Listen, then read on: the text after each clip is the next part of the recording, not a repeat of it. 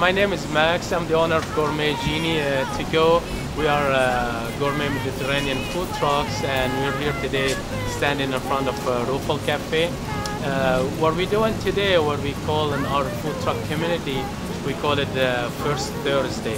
Every first Thursday of the month, we gather all of us uh, food trucks. The purpose of our gathering here today is to uh, help revamp and bring back the people onto the sidewalk and walk in the neighborhood, make it more friendly neighborhood.